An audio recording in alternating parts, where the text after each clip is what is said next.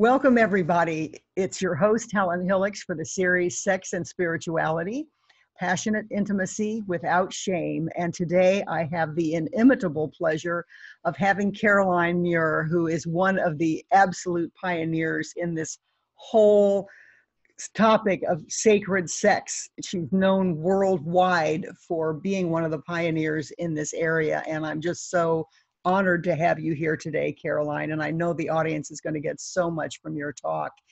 So uh, I wanted to make a quote or read a, a quote uh, that Caroline wrote. My teachings are based on a foundation of 45 years of hatha yoga, meditation practice, and living a healthy, vital life filled with love. And I that just blew me away just to start off with. And I thought, if everybody could say that, their lives would be fulfilled. So that's that's who Caroline Muir is. She, she is the author of two best-selling books, Tantra Goddess, a memoir of sexual awakening, and Tantra: The Art of Conscious Loving. And she and Charles Muir, I believe, co-produced the DVD series Secrets of Female Sexual Ecstasy. So Caroline's work has been instrumental in inspiring sacred sexual awareness worldwide, also known as Tantra. She's a celebrated yoga educator, best-selling author, as I mentioned, and co-leader of the very popular Tantra, the Art of Conscious Loving workshops. And she's now in private practice and does work with men, women, singularly, and couples. So I, I, could go on and on. She's known for groundbreaking work with G spots, healing and awakening massage, and educating both men and women about the full spectrum of their orgasmic capacity. Anyway, we could go on and on, but I think I should stop. So that's, uh, but but I do want to say that one of your um, focuses is that education at every level is the core of what advances human existence. Period, and I love that because sex is such a vital part of our experience as human beings and if we're not educated we're not going to be evolving.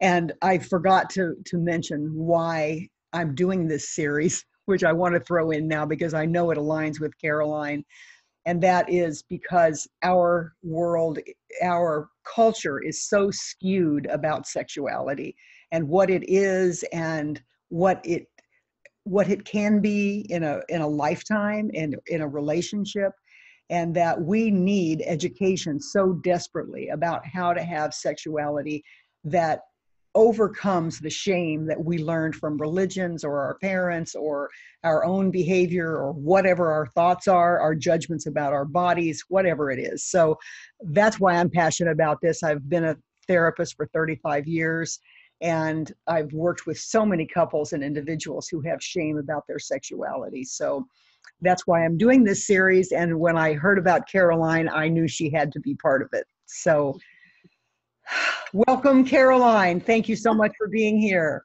Oh, I'm here with tears in my eyes and um, a lot of emotion going through me as I hear you speak. Wonderful. I love that. I love starting out an interview crying because that's yes. the passion. That's yes. the passion. And that shows up so much in your work. And, you know, people, if you haven't read her books, you know, you're missing out because they're a delight to read as well as incredibly educational. So let's start out with a very simple question of how do you define sex, Caroline? Wow, that's such a loaded question. I know, I know. There's a, there's a, bottom line and a top line. In let's hear answer. both of them. And I often in our courses, Tantra, the Art of Conscious Loving, uh, would define sex for most people, much of the time, as the copulation of eunuchs.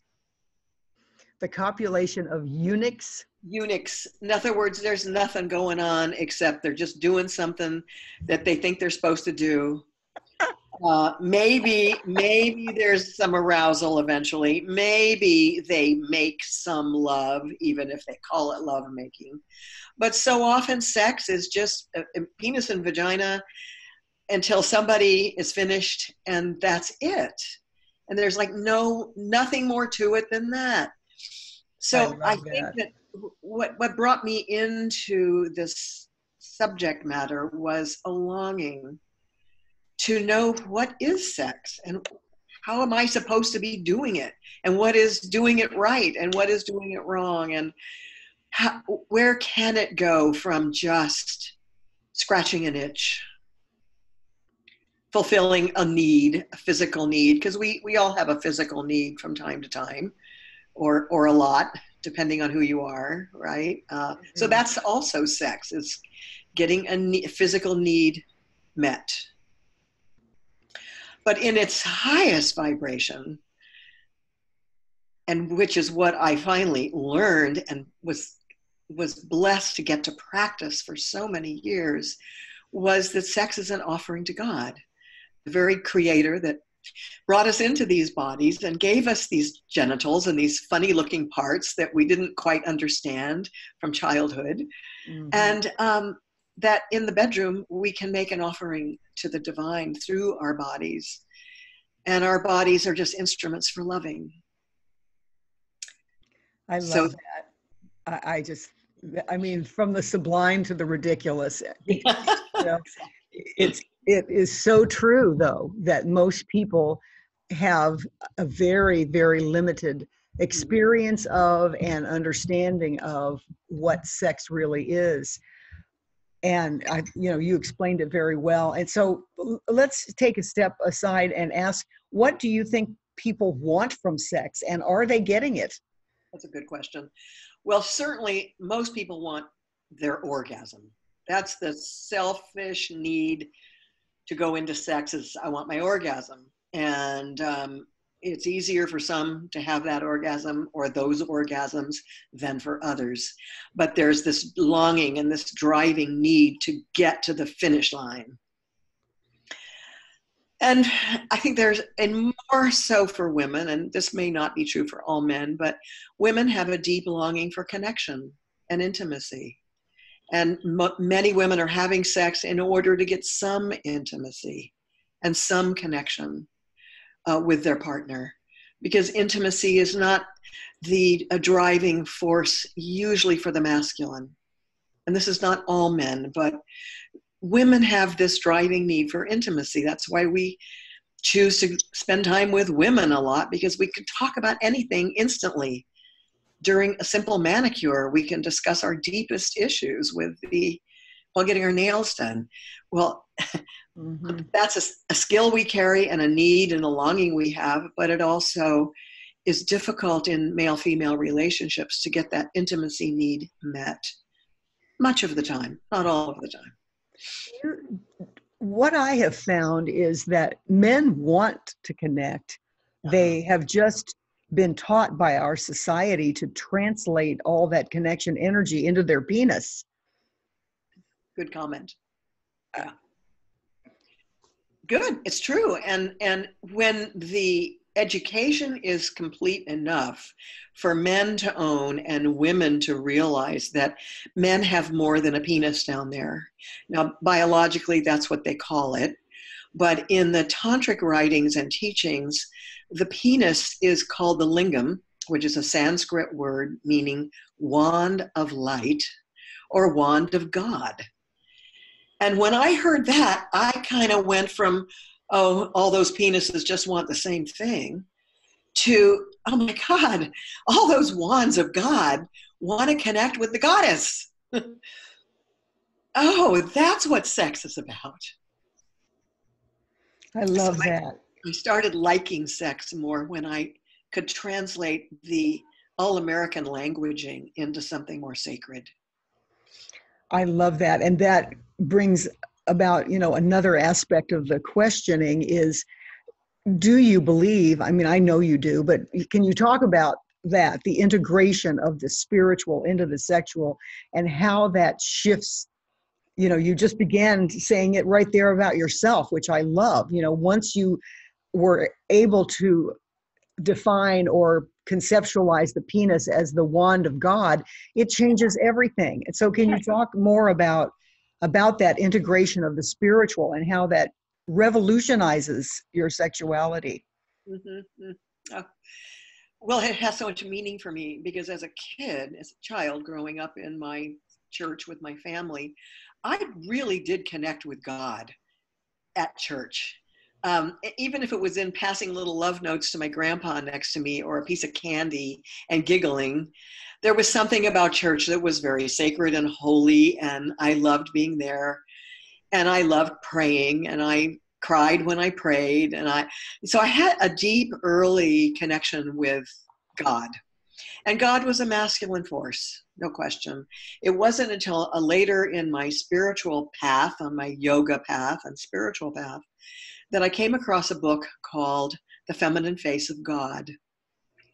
And that's when I went, whoa, that God is also female. This is not just a masculine, male female thing. This is an amorphous being that embodies the masculine and feminine. So then my prayers and my connections to God became also my prayers and connections to the feminine. And to yourself. Outside, outside and inside me. And that brought my sexuality into a, a, a, place where I could hold that the union of masculine and feminine creative energy, which is certainly sex is a creative energy, it creates life in one form. Mm-hmm. Uh, it creates great pleasure in a good form. So that creative life force energy of the masculine and feminine uh, in under the umbrella of God's love, that made sex something I was happy to have and do and perform more of the time. I love that. And, you know, I, I'm sure you have found in your years of working with women and couples, but that it's such a shift in consciousness when when the sacredness gets integrated that that the women are able to say you know i'm not just surrendering to a dominant male force. Right. i'm integrating the male and female with the oneness. I mean is that what you're saying? Absolutely. And and for women to again go beyond the the shame or the shyness or the embarrassment and really become the active in sexuality. And when she is on top she is the goddess incarnate and I actually had to see other women being on top with a man to see the ecstasy that they were to vis- to see it visually. Not just my own if i was on top of my beloved but to see a woman in ecstatic pleasure told me that there's no outfit she's ever going to buy that's more beautiful than how she looks when she's in her ecstatic pleasure with a partner and it doesn't even have to be orgasmic. It's i mean the orgasm is this goal orientation but orgasmic energy is always flowing. So we simply have to learn to play with it. And in playing with our bodies move more easily and we laugh more easily and we're not so hunkered down and serious about enough friction and enough speed to get to this orgasm which usually happens easier for the male before the female. Um, but luck, lucky women are hooked up and wired up in a complete way that they have those orgasms right along with the, ma- the masculine. And um, those women like sex. I love what you're saying, though, about playing with the orgasmic energy and not having it just be about friction. I can't remember. I think it was Stephen Snyder, the psychiatrist who wrote love worth making um, yeah. which is a, a different a different focus but he says you know all of us are saying so many of the same things now. They weren't when you started saying it. But but now a lot of people are are saying similar things. And anyway the the whole the whole kind of funny way of talking about you know friction plus speed equals you know it's just not about that but that's what we've been taught. And it's hard to overcome that. It really is. I mean i uh, helen um, perhaps for you as well i came from a very traditional midwestern 1950s background. And sex was what you know there were there were line drawings and books up on the top shelves of our parents closet that were somehow taught them about sex. And um, and yet the curiosity and the fascination with this energy that we were feeling as young girls and we were touching ourselves and it was feeling really good but we weren't supposed to let anybody know. We would have to be very private about these things. And then you know i got married really young. I was a virgin when i got married and i didn't know anything about anything. Zero education so, you know, a week after marriage, we found Vaseline, and finally he slipped on in with some Vaseline, but we didn't know why it wouldn't go in.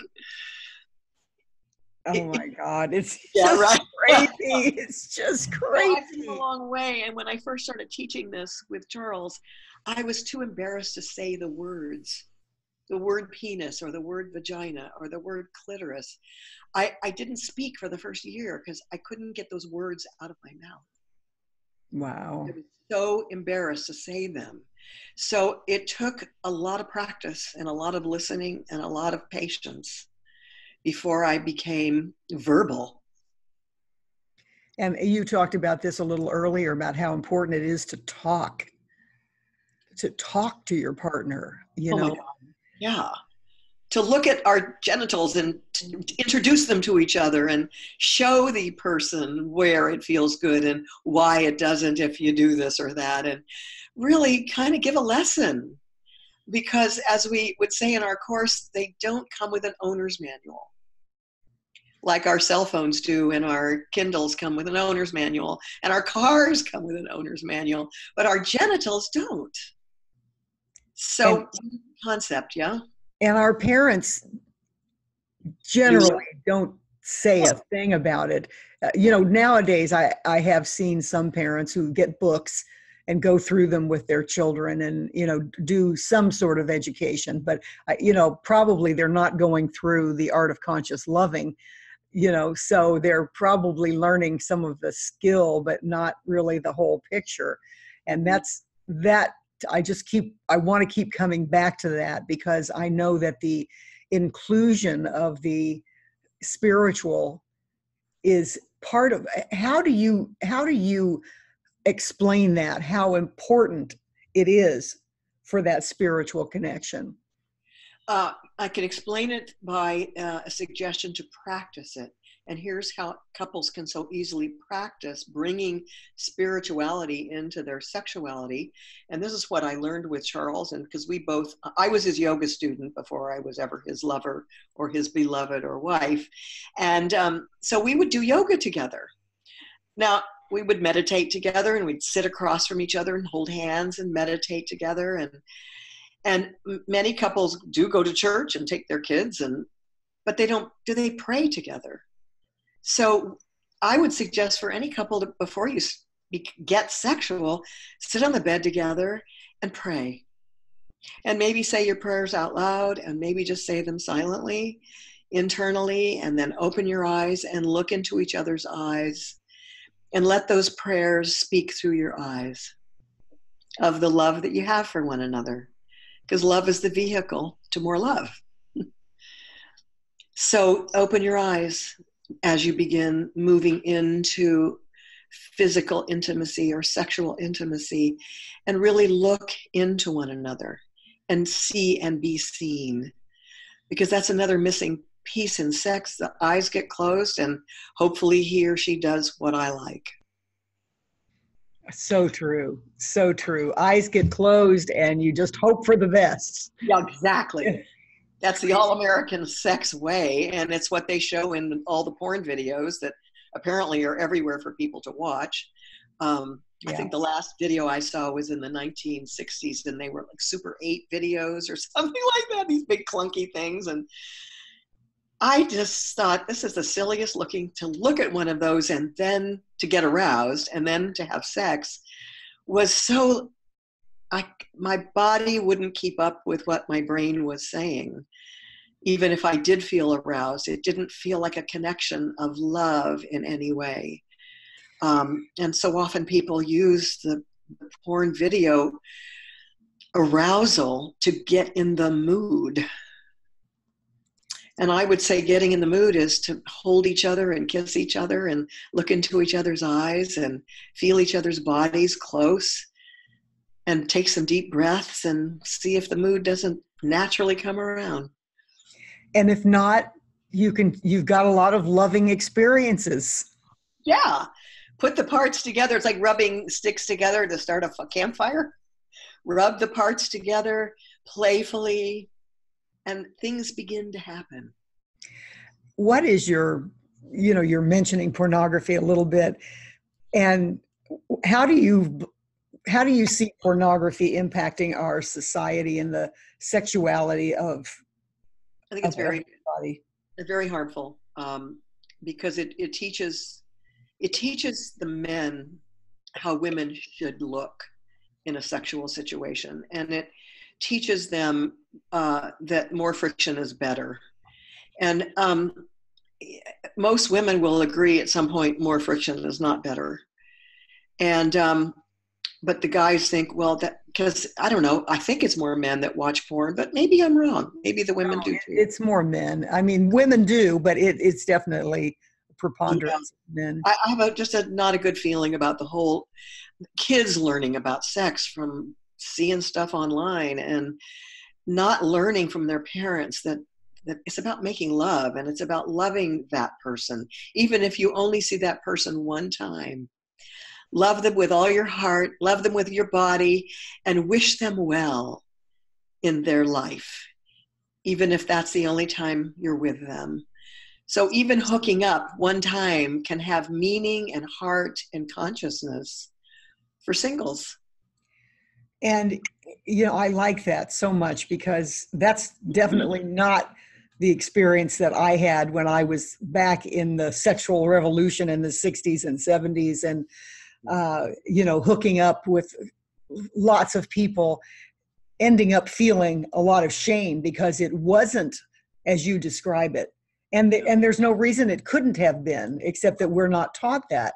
And I agree with you that pornography just perpetuates that friction image and and that you know you have to look this exact way or you're not attractive you're not sexual Um, let me read just one quote. I have several quotes from from your different materials. Pleasure is the birthright of each and every one of us. I, I just love that simple statement. And can you expound on that?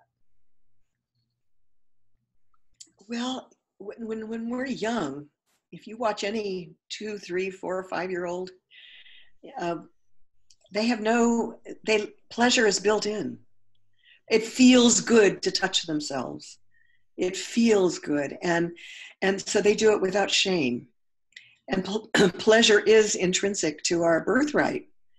Uh, orgasmic pleasure that usually is gets blocked because of early experiences that were um, frightening. So orgasmic energy is really big sexual energy. And some people block the orgasmic pleasure because they're afraid of how big the energy is. And I know I, have seen, I mean, I've worked so intimately with so many women, and I watch them shut down. As soon as it gets too close to feeling too good or too big, there's a fear. There's a fear of, well, now I'm maybe I'm not a nice girl anymore, or a fear of letting go, letting go of fluids, uh, just letting go of the wild woman can be very frightening for many women. And, um, and I really do think that it's women who are in the ray of healing now to awaken their full potential. And it, it will become the men in the ray of awakening their full consciousness potential. But for the women right now, it's really awakening their full goddess uh, divine, feminine, sensual, sexual uh, capacity and birthright. So that falls into the question about pleasure. Birthright is our pleasure. And we have to sometimes teach a partner how we have pleasure because we've learned it from our own bodies. Hopefully. We, we got to spend time, we've got to spend time with our bodies. And that's why I do classes on self pleasuring and how long it should take and how, how extensive that self pleasuring date with yourself really needs to be on a regular basis, whether it's once a week or once a month. What can you give yourself that's just for you, where you learn about your body and what arouses you?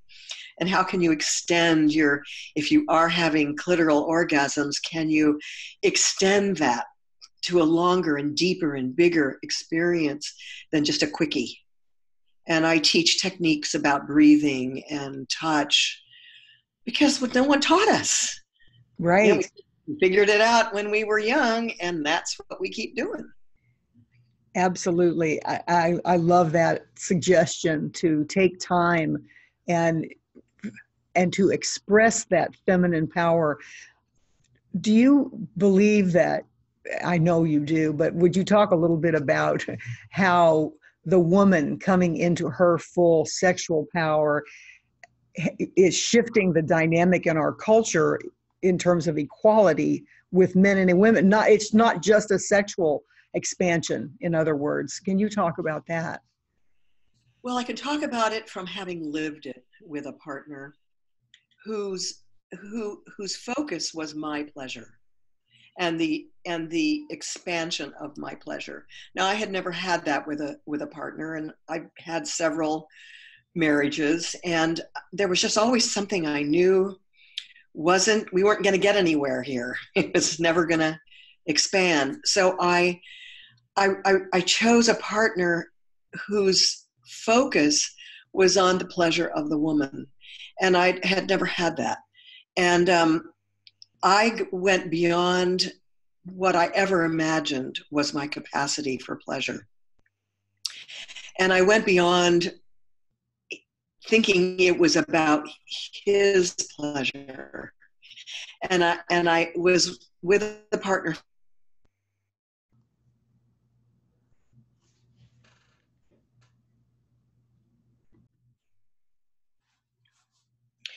So I had to learn and I had to be educated that I, as a woman, had far more sexual energy and capacity for pleasure than a man does.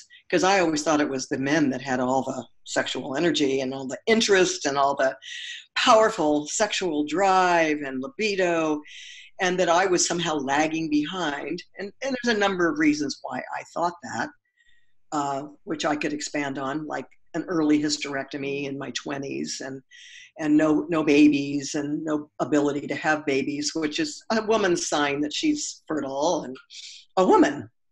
So i had a, to struggle to become the woman that i am.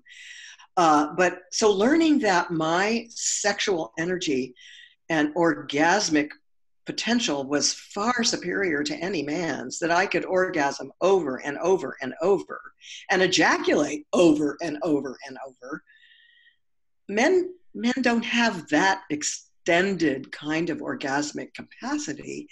And it kind of brought an equality into my sexuality with men because I was with a partner who really valued me getting to the utmost capacity of who I am as a sexual woman. And um, you know, I'm very, very grateful and always will be to Charles Muir for being that man in my life. And uh, often not wanting to be him, not wanting to be the one to ejaculate in a lovemaking session, but making sure I did over and over and over. Well, I didn't know what ejaculating was until I was taught and learned and had the experience with a man who said, Yay for you you can and here's our stack of towels to absorb all the all the moisture and because uh, you know women worry about the sheets and making a mess. And all the things women have to think about changing the bed and all that stuff. But when you know that's going to happen and you're prepared for the releases of the fluids and the celebration of those releases and your partner is so there for for for you or for me as a woman in my case i uh, i was able to just keep letting go and letting go. I wasn't worried that oh it's about your turn now or what about you? And a lot of women have a, a limit to how much pleasure is okay for them. Like I've I've had some now it's your now it's time for you. And so we go right back to giving again because that's familiar to the man because we've had enough. we decide. I, I, love what you're saying. I mean, it's kind of, it really is mind blowing. And there are so many elements that you've brought in. I want to go back to something that uh, that came to my mind earlier and then come back to, to all the way through what you've just said. Mm-hmm. Uh, the first thought was about integrating the spiritual into the sexual and coming together and whether you meditate together or whatever whatever your sacred ritual is. Yeah. You know that it establishes and i learned to do that with my husband like 12 years ago and it completely revolutionized our sex and my sexual uh, ability to enjoy. And that that was because it made me feel safe. Mm-hmm. yeah and i don't mean safe in the way of you know predictable and you know boring. I mean safe in the way that i'm in a container of sexuality and spirituality that god is blessing my pleasure so to speak Eh, do you do you relate to it in that way too? And is, is that your experience when when you do integrate the spiritual into the sexual that it allows people to feel safer and therefore more adventurous? Yes absolutely. It's the it's the deepest connection we can have with another human being. And it doesn't take a long ritual to create that safety with a partner. Right. every partner every uh, a set of partners can create their own prayer their own ritual their own entry into the sacred sexual realm. Yes. And I agree about safety. Safety for women is way at the, at the top. yeah And I think that's why so many women come to work with me as a woman, not because they're female oriented in their sexuality, but because I'm safe. Yes. And I, I love what you're saying that, you know, how Charles integrated that element of safety in that this is about your pleasure you're safe with me. Yeah. you know i want you to receive and that is you mentioned it that is so difficult for women in general. It's so difficult to just receive. Why is that and and how important is that well, you're the you're the one and you're the psychologist. I mean, why is that? Is a big question. Why can't we receive? We are such amazing beings, us women, and we give so much. We spend our whole life giving, and we love giving. So why can't we receive equal to how we give? What is that psychological? How deep and old is that?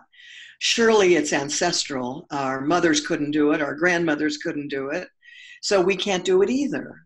Right. Well, if if you want a one second explanation, I mean, I think it has to do with making ourselves indispensable to men so that they'll protect us and provide for us. You know, it goes all the way back to caveman days. You know, I, I truly believe it has to do with the domination of of men over women and that you know we have learned these methods of securing ourselves and that's one of the primary ones. Very very true. And it's it's in in all of us. We can't it's hard to shake that. It, it'll come up even when you think it's gone. Absolutely. Yeah. absolutely. And i love that your focus on shifting that dynamic in the sexual spiritual realm because once you do that it will expand yeah it will expand. I mean either you stop doing anything sexually or intimately with your partner. You okay? You want a drink? Um, I, you know i've had i've had moments in this partnership that i'm in now for almost 20 years where he wants to sometimes just go unconscious and I, i'll just stop right in the middle of everything and go no i won't continue. This is not true for me. Um, let's just rejoin uh, uh, at another time when the consciousness and the sacredness is present. And it, it was up to me because I might have been on my way to having some great pleasure or something, but I'll just go, no, I won't do this anymore because then you'll feel successful. and it'll reinforce that dynamic. It reinforces the dynamic because I am a giver and I love to serve and take care of and but I have to be careful I don't overdo that. Uh, I love that, and I love the, the the tool that you just brought up. Really, it's a tool. Is that you can stop anytime things don't feel right, mm-hmm. and that would you agree that that's a very universal? Yeah, well, it's liberating me. It's liberating me into my no. No, I won't do this right now. No, you can get up and get it for yourself. Or no, I won't continue this way right now because it feels empty. I'm not feeling anything. And I want to participate intimately and in every way with you, my chosen beloved for this 20 year period of my life and beyond. I wanted to have meaning, heart and meaning. And um, so I'm here to say we're not having heart and meaning right now. And I just love that permission though. And I've had to teach that to clients forever is, you know, you can stop. and this goes back to what you were saying before about the, the rush to orgasm. You know, it's like, God forbid you would stop the man from getting to his orgasm and say that doesn't feel good or whatever it is, or I don't feel connected. But I, I love what you're saying that yes, you can stop Yes, you can. And it's a, a, a moment of the biggest step of empowerment for women when they are holding a man's wand or it's inside of them and they open their eyes and they put their hand on his chest and they say, Open your eyes and be present with me if you want to continue. And then, whoa. Often they say, ah, I will now I can't continue. Okay. If it's real, it'll come back again. But we have to come into our empowerment helen and that's the work i'm doing with amrita now in the sacred feminine mystery school is woman by woman by woman going through these practices to help them really step in to this place of empowerment where they do have the power within to say no not now not that way uh, let me lead i'll tell you when i'm ready things like that. One of my favorite saying is you cannot say yes until you can say no. Yeah. And that's exactly what you're talking about is that until a woman can say no, not like that, or no, not now, or whatever it is, she can never feel that safety to surrender True. you know to that to that energy and and have real ecstasy so I, I love what you're saying let me quote another excerpt mm-hmm. from your wonderful work. Mm-hmm. Th- this is about yourself. I practice living in tantric union with myself and the life around me, weaving an expanded awareness in the practical necessities of life. Mm-hmm. I did say that. I love that when you know you say something so profound. Oh, did I say that? I did say that. Did so, say what that. does that mean to you that you live in tantric union with yourself and the life around you? So, tantric union, just to draw uh, the listener a picture, is a circular union. It, it's oval, if if you will. It's not direct. It's not linear. Uh, like like sex penis and vagina sex is linear, right? The tantric union is circular. So he comes into me, I raise that energy up to my heart, I send my heart to him. That would be the circular exchange of energy in tantric union. So I do that with myself. Uh, I touch myself many times a day when I go to the bathroom. Uh, women have to pee a lot. and I take a moment to connect with my sacred yoni, my sacred space. And I bring that energy up with a breath and I bring it into my face and my eyes. And when I go out the door with my purse on my arm and I'm off to this market, I've got a smile on my face. And I've had people come up to me saying, Are you expecting someone? Or are you, uh, you just look so happy for no reason but I know I do have a reason because I'm really running this sexual, spiritual energy within myself. I'm not touching myself. My hands aren't inside my panties. I'm just my purse is over my arm and I'm I'm having a spiritual sexual union with God, goddess as I go off to the market. And that's how I got off of antidepressants, antidepressants when I was in my 50s and going through the menopausal years. I finally just said, I'm done with all of the artificial anything. I am I have the capacity to run this energy each and every day of my life until I leave my body. And whether I'm with a partner or being sexual with someone else or even with myself, I can run this energy through me of the heavenly divine energies, the sensual pleasure energy by simply knowing it's there. Do you? I, I love what you're saying, and I I so relate to it. You know that, that it's uh, one of my other uh, experts, Rebecca Benito. Excuse me, Rebecca Benito. I don't know if you've heard of her, but she was talking about that sacred sexuality is with you and everything in life and how she felt herself feeling very sexually attracted to her friend's new stove yeah, I can totally relate to that. Me too. Me too. Oh my God, I love that lamp. I feel sexually toward that lamp. I oh, mean, I love that lamp all day. Yeah. Right. Absolutely. And so I love what you're saying about bringing that life force energy through your body. I'd like you to talk a little bit about uh, the is do you distinguish between chi, you know, life force energy and sexual energy? It, you distinguish between those? Is life force energy actual sexual energy? I don't know. I, I, I you know, Shakti is the word from the tantric writings of the Hindu India, uh, uh, the, the his, the um, umbrella that I of learning that I come from, which is the, the tantric umbrella.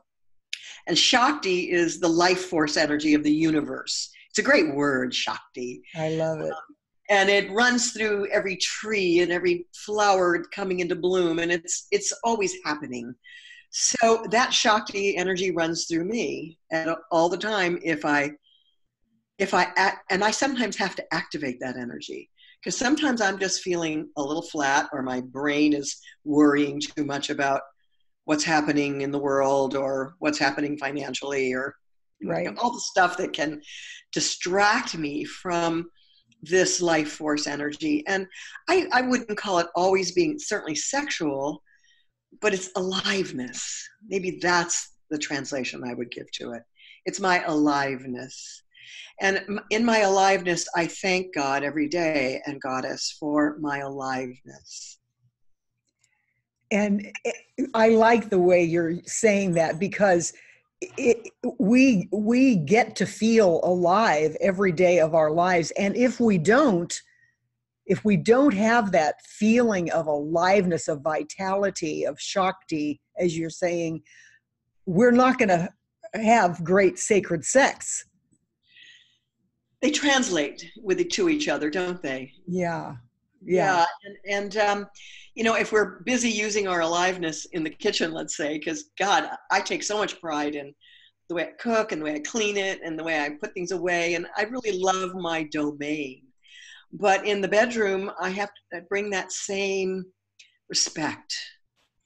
And even if I'm not feeling aroused, it's it, the arousal is the aliveness within me that I bring to the gift of having a partner who is willing to lay with me and hold me and play with me and talk to me. That's where the gratitude starts to make me feel my own arousal, which may be genital or may not be. If my heart's aroused, I'm home. I love how you're saying that, Caroline. and and it's like another it reminds me of another saying that the way you do one thing is the way you do everything. Oh wow, wow.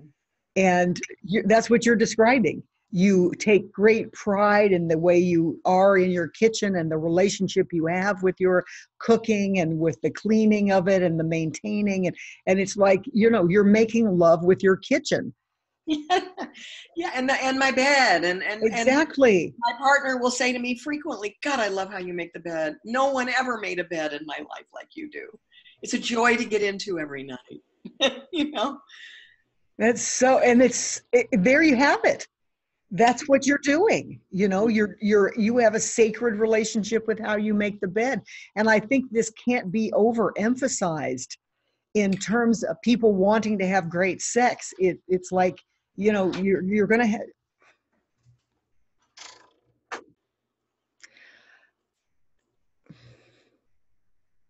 Eight hours a night in, and the bed that we make love in is kept as a sacred temple for love and for rest. Um, that's a good reason to pay attention to how you put it together every day and how you pull the sheets up and how you get dressed. If your body is a sacred temple of spirit, then how you drape that body and how you present yourself, it's, it's all about the sacred. And, and unfortunately, uh, Helen, so much in our culture, the sacred has been lost. Yes. I uh, agree. I'm just so sad about that, but it is being refound. yes, it is. it reminds me of another one of your quotes. I'm going to leave the, I'm going to paraphrase part of it, but it's about how much energy we put into work or art or other endeavors. And and you're saying in the same way men and women who are passionate about their relationship must be committed to manufacturing the energy needed to sustain it. Can you add to that well it's a it's a commitment to honoring and respecting that you have a partner who wants to continue to grow with you. And I, I want to address, I want to bring that into one of your earlier questions about the aging years and how, because I'm facing that now uh, in my mid, moving into my later 70s. I never thought I'd be this age. I never thought I'd be with a partner who's exactly the same age. Of course, how could I have? You never know.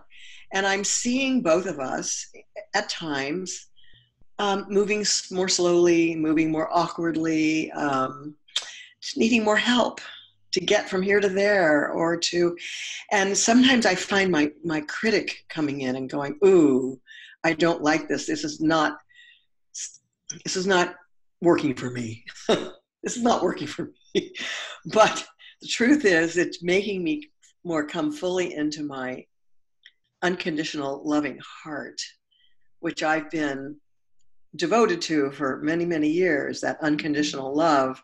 And more now than ever, I'm being asked to call upon the unconditional because the the youthful qualities that attracted me to my partner even 10 years ago are not as present and apparent as they used to be and i see how my mind wants to judge and criticize either me or him.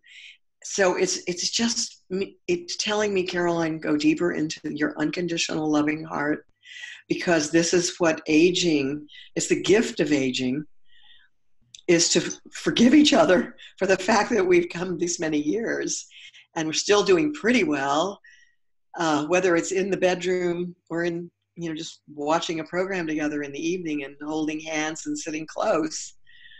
Um, it's appreciating that we have a partnership and and a good sweet dear wonderful partnership and and in the bedroom i want to uh, talk about that for a minute too because neither one of us have the agility that we had 10 years ago and we often joke well who's going to be on top and we go, well, I don't want to go. I can't be until my knees ache and my hips. exactly, I can't do it tonight. Well, they, how can they reach across if we're lay, both laying on our backs? What shall we do now? So it's it's it's making us laugh, and we find more humor in touching each other and pleasuring each other in ways that are comfortable. And you know, it's so I I say all this because it needs to be said I love that. you know, I love that. My, I'm almost 70. My husband's 72 and it's like sometimes oh my shoulder hurts sonny you know and it's like okay well you know sometimes we have to stop and sometimes he can't have an orgasm and sometimes i'm not feeling it i mean but it's like who you know we we have that uh, love and we have to practice that too and i want to expand the the how people are relating to this because i don't care if you're 22 or you're 72 there are things uh, you know that you may be challenged with. You know not everybody has a, a perfectly functioning body and i i just want to you know generalize what you're saying. You know people with some sort of physical challenge you can find a way yeah. you know whether the physical challenge is aging or whether it's some sort of other challenge i don't care what it is mm-hmm. you can find a way to find that sacred sexuality i'm sure you've come across that many times oh my god i think one of my if i may for a moment uh, my greatest teachers was a man who um, ran our business for us in in maui uh, charles and i when we were starting the tantra business. And um, Michael was this tall, handsome, beautiful Nebraskan guy, and he was just the best business manager. Well, one day Michael dove into uh, a shallow uh, surf in Maui and broke his neck on a sand dune uh, and um, diving for a frisbee and became uh, quadriplegic in a wheelchair for the next 23 years. And I was uh, uh, on the team of helpers uh, that would visit Michael every week and, and help him learn to live in a wheelchair. And he had been very devoted to our um, tantric educate, educational system and our business. And uh, he didn't want to have to lose his ability to have a woman in his life or to be sexual. He said, How can I be sexual? I can't feel anything. I don't know how to make anything happen. Who would want to be with me? And so we just kept looking into each other's eyes. And I'd say, Michael, if you can look into my eyes, you can have all of me. And there are women just like me who would love to be with a man as present as you. And there are things, we're going to find out what they are to make that erection happen. And she can climb up on in your wheelchair and get on top of you. And by golly, Helen, all that finally happened for him. Oh, that's so wonderful. Fabulously beautiful woman came into his life and said, I am here to love you and care for you for as long as I can. And then he would tell me, She did it. I got an erection. And even though I couldn't feel it, I could see her enjoying herself on top of me. And he said, Oh, Caroline, you were right. You know, thank you so much. I, I was losing hope. And so things like that, Helen, have really told me that, wow, as bad as it can be, it, it can be worked out. That makes that brings tears to my eyes, honestly, you know, because I think the, the the way I would summarize all of that is don't ever give up hope that you that you can have what you dream of sexually. Don't give up hope. And you know, all of your work is a fantastic way for people to explore what's possible. And I I think that that's another reason that I wanted to do this series is I've met with so many people who have given up hope. Yes and I know that your whole practice must have been full of those people. Oh, and it constantly is something I have to work with with uh, with people who come work with me privately. And I I often use the analogy of Pandora's box. And Pandora had to keep pulling all this cobwebs and all this stuff out of her box. But what did she finally find at the bottom? When she finally reached the bottom of the box was hope. So keep pulling out the cobwebs, keep pulling out the demons and the shadows because somewhere in there is hope and hope is what keeps us going. So do you have something that you, a free gift that you want to promote? I, I i don't even know if i asked you that before um, but do you have one that you generally offer? And absolutely, and uh, um, Rita has to remind me because she's the one who's in charge of my business life. But it's the three-part video series that's on my website, um, uh, reclaiming female feminine confidence. Uh, it's a very professionally done three-part little video series. I think each video is about 20 minutes.